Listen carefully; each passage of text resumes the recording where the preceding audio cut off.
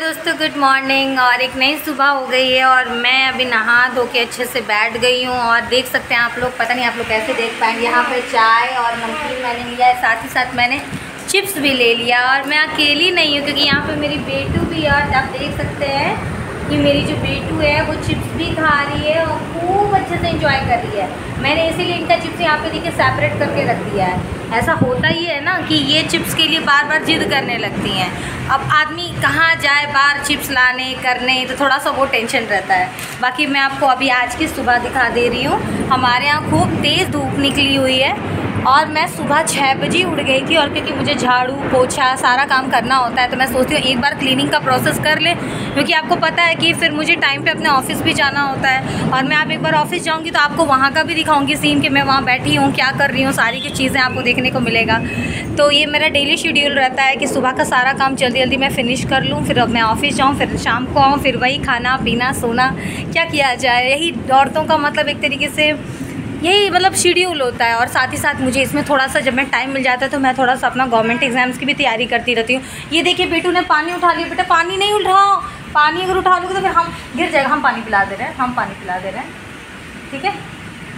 पानी पिला दे रहे हैं। छूना नहीं छूना नहीं छूना नहीं। और पहले चिप्स पहले चिप्स खाओ।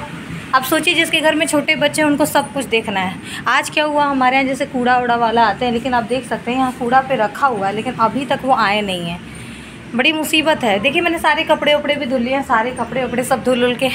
क्योंकि सुबह जल्दी उठने का ना यही फ़ायदा होता है कि थोड़ा सा सारे कपड़े भी आप धुल सकते हैं, सब कुछ कर सकते हैं। बाबू, और मैंने किचन में भी देखिए, मैंने अपना रूम है आपको दिखा दूँ, अभी बहुत ज़्यादा मैंने सामान नहीं रखा है, पर अभी बहुत सारी चीज़ें मुझे लेना है। पूजा पाठ वाठ मैंने कर लिया है, किचन की सारी साफ़ सफ़ाई कर ली है। ठीक है?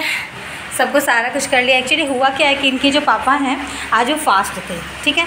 तो फास्ट थे तो मैंने कहा कि ये देख सकते हैं, आपको थोड़ा सा झलक दिखाएँगे। थोड़ा ज़्यादा इसलिए नहीं दिखाएँगे क्योंकि अभी इन्होंने ठीक से कपड़े नहीं वेयर किए हैं तो ये कभी कभी कहने लगते हैं कि मैंने अभी ठीक से ढंग से कपड़े भी नहीं पहने थे और तुमने हमारी फ़ोटो ले ली।